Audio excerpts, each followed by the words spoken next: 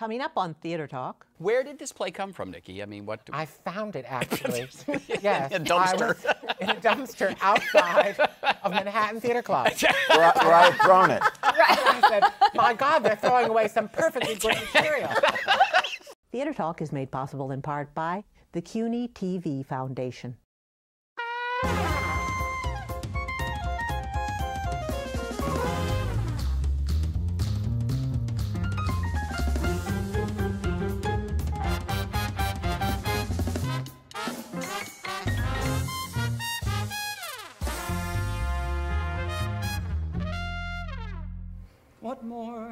I say?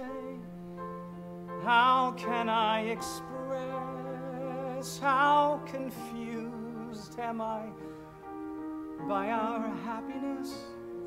Where do we look?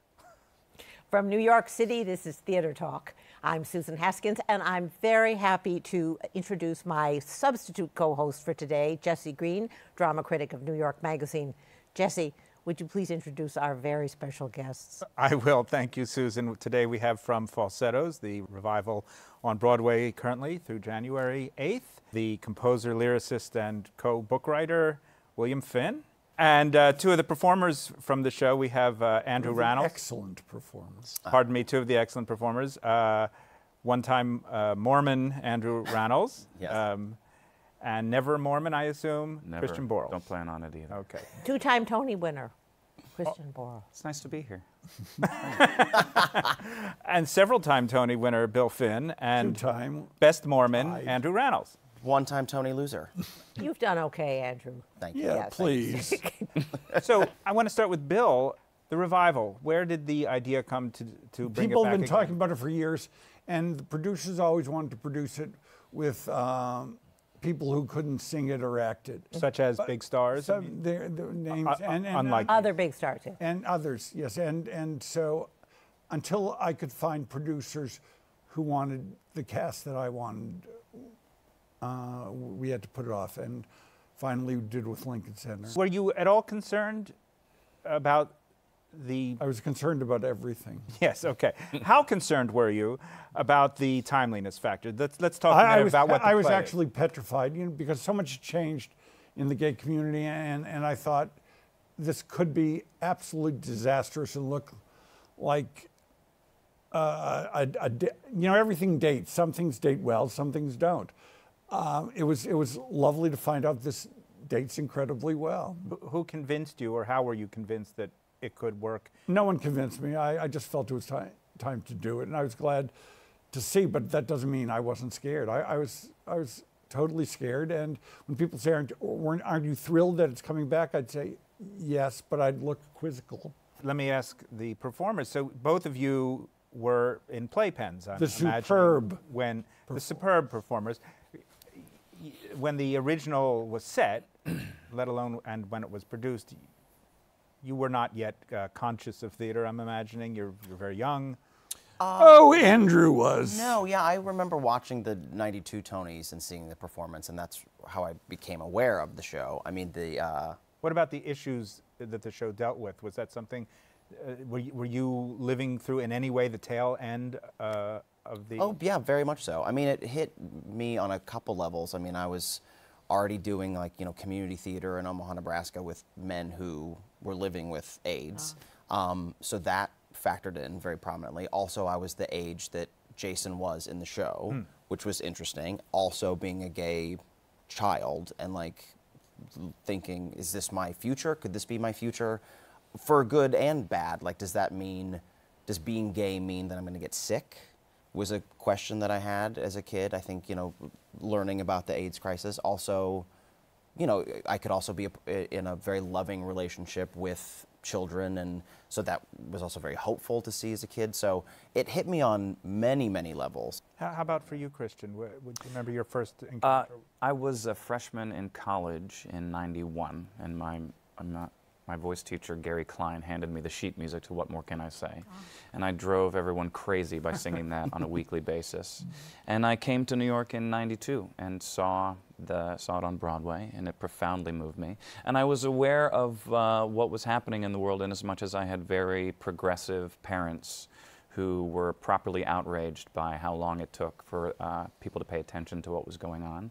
And as a moderately empathetic person, that was my experience with uh, what was happening politically with the story.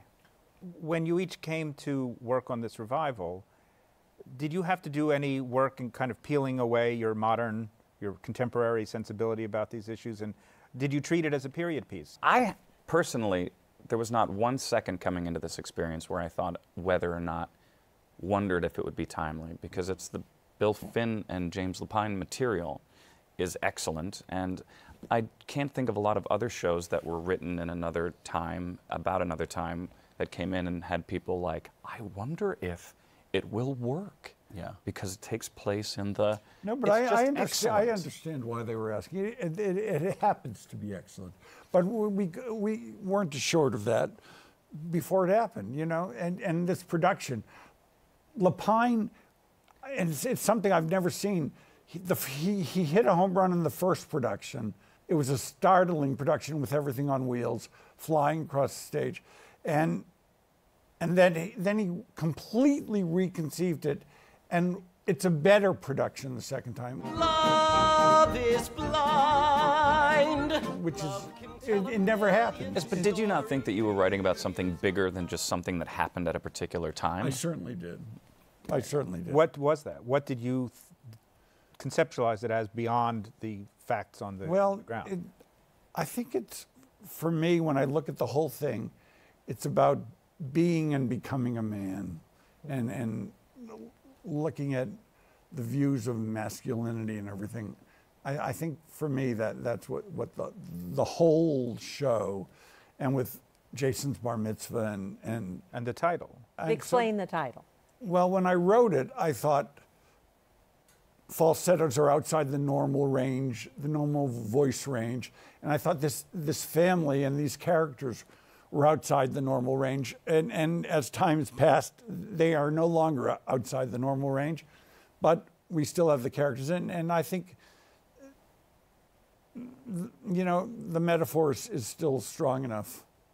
Christian's character begins the show by he's left his family, and I mean, I, I, I, there's a level on which, although I realize that you, you that the character needs to come out, there's a level on which I'm judging him negatively because he's just sort of left everybody in, mm-hmm. in this way. Well, and he's not painted as the most sympathetic No, character no. either. He is unapologetic right out of the gate. Unapologetic right out of the gate. He Now- says, "I don't mean to offend." right, but but there there I do think he's saying that for Mendel's sake, however. like I- as- I from an actually- analytical standpoint. I actually didn't think so. I think he was saying it. But I'm saying you're right to to him. the audience. Well, that There are two moments in the show that that, I've decided to like. Yes, I know. But I this the way I play it is that he does have a very specific relationship with Mendel, and even saying "I am so dumb." Is almost less about like a personal thing of saying like I'm making progress by telling you, my therapist, that I am so dumb. we, we should say that Mendel is the psychiatrist. psychiatrist. And And And eventually marries Brandon the Uranowitz. wife. Speaking as a child of a broken home, I was kind of mad at him at the beginning. Later on, you feel so terrible. Well, we all have our baggage. you feel so terrible that you know, you know for what he's gone through that, that you you love him. I think what's fascinating about what they have written is that you don't necessarily like Marvin even at the end of Act One, and I've I've kind of been disciplined about trying to strip away any kind of charm or, or need to I make think him that, likable. and that's what's so wonderful. Because he's, it's not necessarily what he's done that I think we judge him on. It's kind of how he, we see him behave. He, he makes incredibly clumsy choices. he's a little petulant. yes, he is. Well, it's more than petulance, and it it clearly had to have been deliberate. I mean, you, you gave him things to say that are kind of horrible uh, in the first act. And obviously, that sets up the life changes that are going to happen to him in the second act. Um, but uh, one of the things I like ab- about that is that, particularly at the time when it first came out, th- th- there was a kind of gay show or play that was very, uh, I don't know, sought a lot of sympathy, which is fine, and that, that has its role. But th- that character does not really seek any sympathy, and the play doesn't seek any sympathy for gayness per se. Uh, the loss of a lover, that's a different story. But um, having the main gay character be kind of obnoxious and hurtful, sorry, no, uh, that's absolutely right. uh, is, is, was, was extremely refreshing in its way back then and, and remains strangely so now. Well, can't you all think of moments in your life when you've been obnoxious and hurtful? And are you still not worthy of kind of love and, Oh, we all- yeah, of making course. progress? And when you've done stupid, stupid things that you immediately regret, but you can't get them back. But the, but that Bill doesn't present Marvin as all nice and goopy at the beginning gives Correct. us a place to go. Mm-hmm. The other thing I want to say about its timeliness is, I, I, I- I you know I was a young adult during the AIDS crisis here in New York, and I need to be reminded of that. That's what I felt. I you know I felt great pain, but I, you know I I need to remember that. You know, It was so horrible. yeah. Andrew, uh, in playing the part, of course, this character does not know what's going to be happening in the second half, and even through most of the second half, doesn't know what it is that's happening. Yeah. It uh, takes place in 1981, uh, at a time when there was no name for this disease. So, uh, did you? f- Was that difficult to do to kind of again strip away your foreknowledge of, of what's going to be happening to this character? Uh, no, I think the roadmap that that Bill and James sort of presented for us as actors is so. It just makes perfect sense, and it just. I, I mean, it, it didn't really require a lot of extra work to think about how we were, how to connect the dots, which often as actors you have to spend a lot of time mm-hmm. figuring out how we're how we're going to end up there. But with this, at all, and I feel it every night that you don't really have to think too far ahead. You just have to be in the scene that you're in. And I'm not saying that as you know to be too actory, but but it really there's the process is so alive and is so you just have to be present and you just do you know the second act the way that the racquetball games are structured and and even you know what more can I say in the in the middle of those racquetball scenes it all just allows you to just be in the moment for lack of a better They have done all the work. Yeah. And even the way Yeah. James Lapine directed it, he didn't want any any. Um, he didn't want it to be entertaining, and he truly made. He was very disciplined about stripping away all What's of our. an example of like uh, how might you have tried to entertain at a certain point? Well, there's. I, I remember a moment in Brandon Uranowitz, who plays Mendel, um, was is singing um, a song to Jason, and there are three musical beats in it. And the impulse is to fill those beats. That's what we kind of, as mm-hmm. actors, and kind of like when we're having fun, we're like, well, I'm going to do obviously something on those beats. And James was like, you actually can just stand there. Mm. And it can be awkward. You don't have to fill it. And that's an option. And he did that for the whole show. Yeah. So for the first time in my career that I can think about, I have moments where I'm just standing on stage. Is that scary or liberating? It's incredibly liberating. Very liberating. Just being instead of acting. yeah And then you start acting and it's fun again. no, I'm just kidding. um, it's also great the, the pace that he created because there's very little applause in the second act, which is so helpful. Because I sometimes on stage, when there is, you're holding for applause or you do, it is feels unnatural and it feels like it does stop the story. So James really allowed us just to sort of plow ahead, and I think it's good for the audience too because they don't have to participate in that way that you Yeah. feel like, oh, I guess we have to. Well, in a show that's now. almost entirely sung, Yeah. uh, I mean, in a way, it it becomes odder in that circumstance to be stopping the train. Yeah. Absolutely. Um, and that- that makes me wonder whether once you get on at the beginning, whether you feel like, I don't know, like I'm on this till the end, and whatever happens, happens. And Well, yeah, it does sometimes.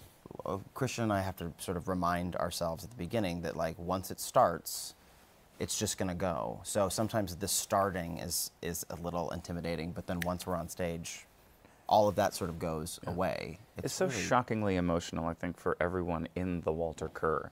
And I've never had the experience as an actor of not having to manipulate anything. The material serves it so beautifully. Mm-hmm. And I do. We had a moment the other night at the beginning of the show where we were kind of about to do four Jews in a room bitching, and I'm dressed in these biblical robes with this ridiculous yak hair beard.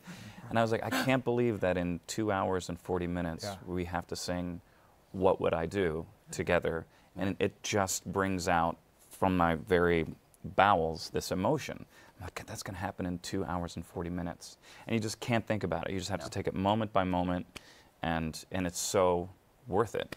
But wh- what's strange about that, and I and and you feel that in the audience as well, uh, is that of course these the first act and the second act were, were written a couple years apart, and were kind of cobbled together and then redone. And so when you started, you did not have that knowledge that it would be ending there. I did not know where it was going to end, but I always said when I was doing In Trousers, the first part, that it was going to be a trilogy, not knowing how it was going to work out. But just because I'm not so good inventing characters, I thought I have some characters that are seem a little juicy to me. I can work with these people and not have to kill myself inventing new characters, which is what I'm not so good at. Let us name the rest of the people in your wonderful cast.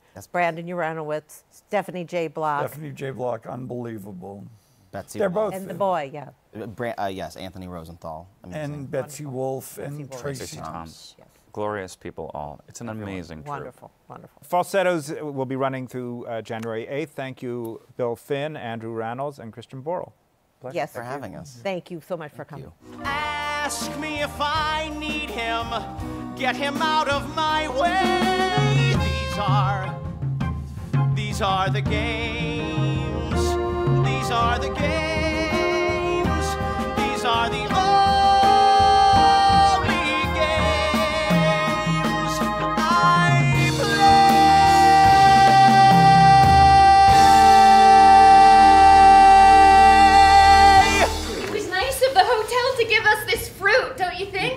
suppose. And so much of it. We're only here one night. We can't take it to Acapulco with us. Well, we could, I suppose, but we shouldn't. Is that a kiwi? I don't think I've ever had a kiwi before in my entire. I have to tell you something. This Day Forward is a funny and ultimately insightful and quite touching play that's now at the Vineyard Theater. It is directed by Mark Brokaw. It stars Holley Fain, and it's written by our old pal, Nicky Silver. Who I must say is one of the most underrated American playwrights. Nicky Silver has not gotten his due. He should be right up there with Edward Albee oh. for The Menace and Neil Simon for the comedy. I've always thought that about you. It's very, very kind. I lie, but uh, Drunk out of your mind. no, but you were you were you've been with us for. What was your first play that I? Well, the first play that opened in New York was Pterodactyl, so that's 25, 26 years ago. So it's been, a, I, I, I, I'm no longer the kid, which is very um, disturbing. I have to ask you, Mark, how many of Nicky's plays have you now directed? Uh, this is my fourth time, third new play. You have The Lions that went from off Broadway to Broadway. Yes. Yes. Which, by the way, is a great American play starring the brilliant Linda Lavin and Dick Latessa. That was one of my favorite plays of the last 10 years, The Lions. Oh, shucks. But now this one stars the brilliant June Gable and Holley Fain. Now, Holley, I want to say this is this play involves a marriage, mm-hmm. and you are the lovely young bride. Mm-hmm. But I was saying to Nicky, and you correct me, Nicky, that I thought you were a kind of a you know. B word. This is this is the age of where we're not criticizing women, and I wouldn't use that word. But you, but you're kind of, you're kind of reveal yourself very early in the play to be a nasty, somewhat unpleasant selfish. piece of work. Well, no, no, but well, was she a nasty, unpleasant piece of work? No, not remote. She's a, she's a, she's a, the most charming, gracious, lovely, demure. We, uh, she is she's all of those things. Now she occasionally she, she does something in the play that isn't as kind uh, in hindsight kind as of it might have been. That's a little selfish, but it goes down with a lot of sugar, so to speak, in this instance. Can you give us the setup, though, Nicky, for the. I have to give the setup. I don't remember it. I don't remember it. I've Well, Mark, you know what? I'm going to ask Holley. Holley, tell us about this place. It's the playwright can't remember. I don't remember it. It's, I'm, it's new to me every night. Feel free to chime in. Um, well, it starts on the wedding night of Martin and Irene. And um, they've had a lovely wedding. Everything went off without a hitch, and they're back in their hotel room. And Irene has. Don't say. I won't. Yeah.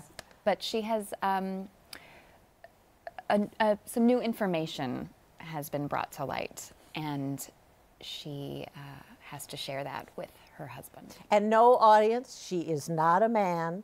This is not like every other play in New York. Identity Week is over. He was at the dinner. Identity Week. Where did this play come from, Nicky? I mean, what? I found it actually.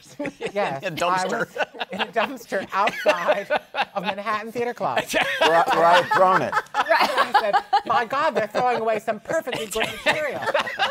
So I put my name on the front page and I gave it to Doug Aibel.